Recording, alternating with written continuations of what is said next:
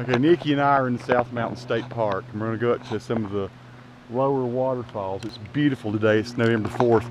We're looking at this poplar tree though here. I swear this is the straightest tree I've ever seen in my life. That is that tree. I've just in nature. You never see anything quite that straight. It's a poplar, I guess. It looks like you could cut it off on the ground and make about a 140 foot arrow out of it. so it's really pretty. Shooting in 2.7K video with my GoPro Hero 3 Plus. We'll get up here and see some of the awesome waterfalls because there's some really pretty ones up here in just a minute.